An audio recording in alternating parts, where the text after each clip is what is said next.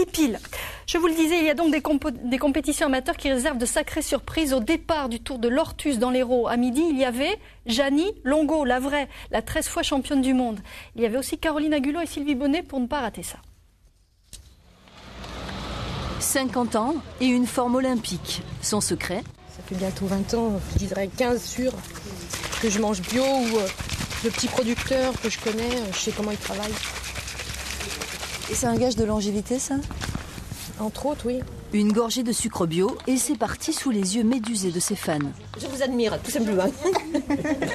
On est venu que pour ça. Elle possède le plus beau palmarès du sport français. Longo, autour de l'Ortus, une course amateur, difficile de rêver mieux. Il y a trois jours, quand elle a annoncé sa venue, les organisateurs ont d'abord cru à une blague. Il y a du vent, je suis pas entraînée. allez, allez on n'y croyait pas au début, et puis en fait elle est là, donc c'est formidable.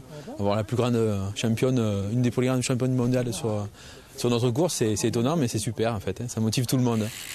C'est ma première course en fait. Euh, c'est la première fois que je fais une course à, une course à vélo. Et puis j'ai vu que Jenny était là, c'est génial. Pas de truc qui pollue, hein, pas de scooter là. 10 secondes. Jenny Longo a beau avoir de la bouteille, elle n'en est pas moins exigeante. Sinon je suis asphyxiée. Sa détermination et son goût pour la perfection l'ont propulsée au rang de légende du sport mondial. Au départ de l'épreuve chronométrée, une centaine de concurrents, 5 km de circuit entre Saint-Mathieu de Tréviers et Valflonès. Mais cette épreuve est avant tout l'occasion de se remettre en jambe en ce début de saison. Au fait, qu'est-ce qui fait encore courir la cycliste la plus titrée Qu'est-ce qui me fait encore courir bah, Parce que regardez là, hein, j'espère qu'on va passer un bon dimanche. C'est l'occasion de se, oui, c'est ça, de se surpasser un peu, d'avoir un but et puis euh, remettre le maillot, pas laisser le, corps euh, décrépir. Grâce à elle, on voit le cyclisme féminin à la télé et euh, c'est génial parce qu'on en a vraiment besoin.